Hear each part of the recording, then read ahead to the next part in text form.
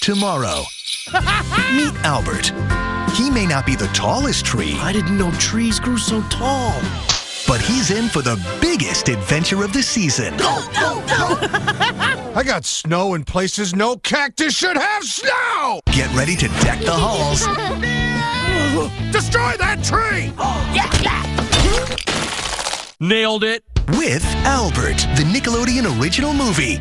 Tomorrow at 7 on Nick. The gift of dance, the gift of dance, the gift of dance.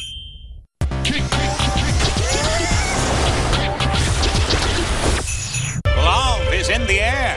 Since Avatar Korra has arrived in Republic City, she's only had eyes for one fellow, Mako.